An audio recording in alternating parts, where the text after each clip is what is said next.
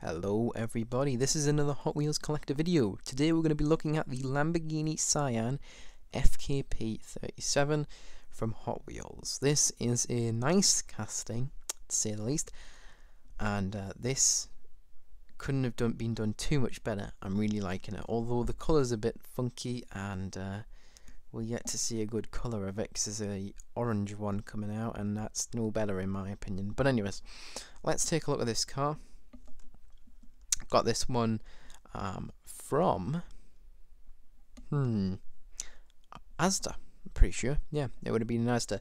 So yeah, it's a really really cool one. Without further ado, let's just get into it. There's not a whole lot of backstory on this one. So looking at the side, we don't have any tampo work.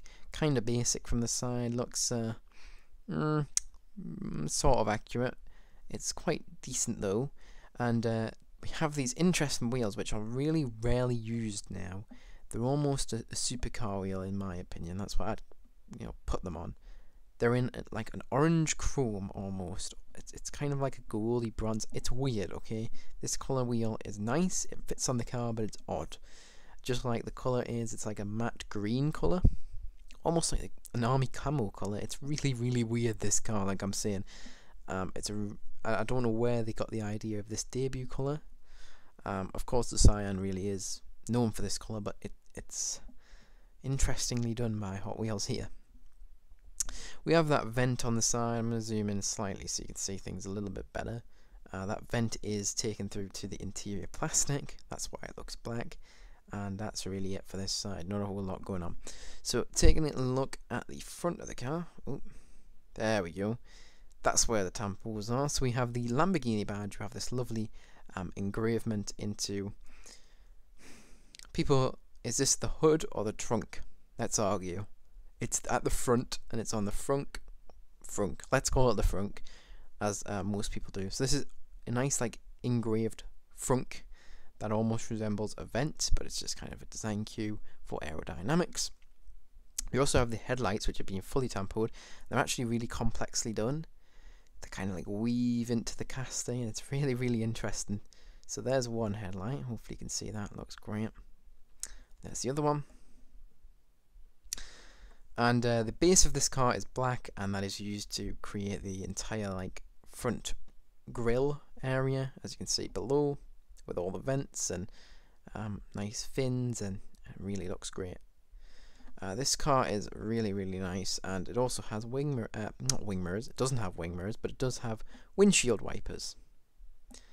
It's kind of a shame that it doesn't have wing mirrors. It really does ruin the aesthetics of the car, but it is a mainline, so we do have to forgive them. But if this does come to premium, won't be happy. Let's just say that because it needs wing mirrors. Please, please start adding them to premiums. It, I don't really, you know, you you know my opinions on it. Anyways, this side is the same as the previous, so I'm not going to bore you with it. Not a whole lot going on in this car. It's very much factory fresh. That's why it was in the factory fresh set as it came out. So we have uh, the rear, we have the rear lights which have been done. They're done very nicely, uh, as you can see there. We also have a nice license plate, which is obviously like a factory, like showcase almost, uh, license plate which reads Sián with the Italian flag and also FKP37. We also have the dual exhausts, which are in a very odd shape for exhausts. We don't see many odd shapes, um, and these are really quite nice. We also have a diffuser underneath, which you can just about see. Very nicely done. And that uh, cast, the actual cast, so the metal, kind of wraps around the plastic bits. It's very complex. If you were to take this apart, it'd be quite a, an interesting uh, cast and probably quite a difficult one for them to um, recreate. So it's interesting they picked this one over easier um, cars, which you could, you know, make more easily, which are more like blobs.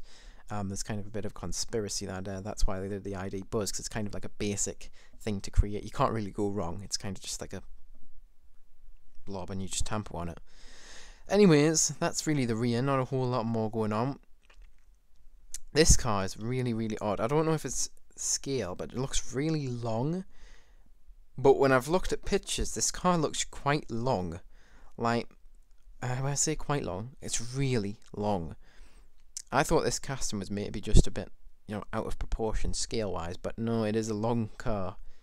there's the top. It has this huge, and I mean huge, rear window, which obviously the engine would be, be uh, underneath, and you'd be able to see it in real life. There's the main line and a Hot Wheels, so you won't get any of that detailing, um, although you probably can maybe see the engine if you really get in the right uh, angle, but you're not going to see it on camera. And obviously, we have some more aerodynamics there. Um, so we have that, you know, allow the flow of air from that hood right over up there and down the back and out the back. Obviously, we have we have active aero on this car, so that spoiler would pop up, and uh, that is obviously over the speed of 60, I would imagine, because that's usually you know what we expect the speed to be when it'll pop up, and down when it goes below 60. Not much more to comment on. This one's quite a, a standard car. It's literally as it comes out the factory. Oops. Um, not a whole lot to report on there. So what do I rate this one out of 10? Okay, let's do this. So remember, out of 10, the rating system, I'm going to go back over this because I haven't done it in a while.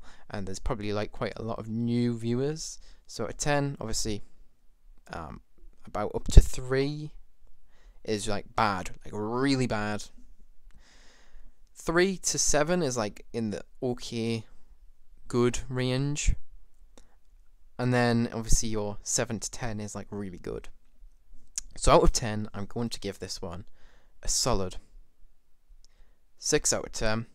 It's a really nice cast, and I just I just don't think this one's uh, particularly great, and neither is the orange one. So I wouldn't be looking to upgrade it because I'm happy with this one. It just, you know what I mean. The wing mirrors not being there, and few other things. It's it's a bit dodgy looking, but hey, it's decent. It's still a good one. It's not bad. It's good. It's above average. Five is you know your average. You know, you know what I mean. So it's above average. Would I recommend you buy it? If you see it, definitely. It's definitely a nice one to add to the collection. Anyways, if you enjoyed, make sure to like the video. If you are new, make sure to subscribe. If you want notifications, press the notification bell. And uh, share this to any groups or friends and family who may be interested. Anyways, that is it for this video. See you guys in the next one. Bye bye.